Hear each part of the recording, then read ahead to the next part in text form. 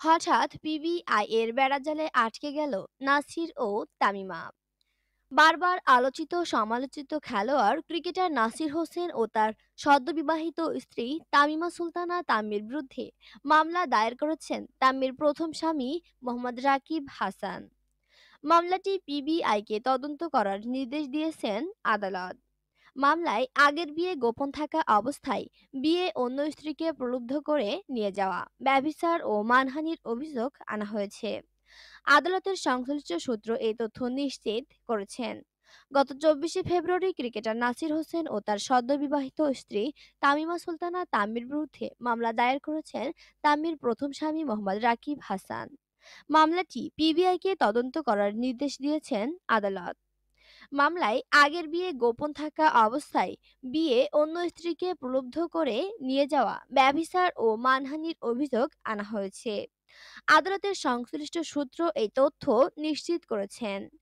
এর আগে দুপুর বারোটায় ঢাকা মেট্রোপলিটন ম্যাজিস্ট্রেট মোহাম্মদ জসিমের আদালতে মামলাটি দায়ের করা হয়।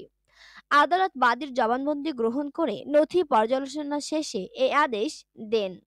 মামলার এজাহারে উল্লেখ করা হয়েছে দু হাজার এগারো সালের ছাব্বিশে ফেব্রুয়ারি তামিমা ও রাকিবের বিয়ে হয়। তাদের আট বছরের একটি মেয়েও রয়েছে। তামিমা পেশায় একজন কেবিন ক্রু। চলতি বছরের চোদ্দই ফেব্রুয়ারি তামিমা ও ক্রিকেটার নাসির হোসেনের বিয়ের ছবি সামাজিক যোগাযোগ মাধ্যমে ছড়িয়ে পড়লে তা রাকিবের নজরে আসে। পরে পত্রপত্রিকায় তিনি ঘটনার বিষয়ে সম্পূর্ণ জেনেছেন।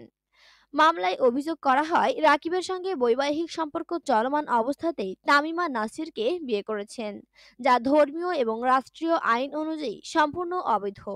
এতে আরও বলা হয়, তামিমা ও নাসিরের এমন অনৈতিক ও অবৈধ সম্পর্কের কারণে রাকিব ও তার আট বছর বয়সী শিশুকন্যা মারাত্মকভাবে মানসিক বিপর্যয়ে পড়েছেন। আসামিদের এই কার্যকলাপে রাকিবের চরমভাবে মানহানি হয়েছে, যা তার জন্য অপূরণীয় ক্ষতি।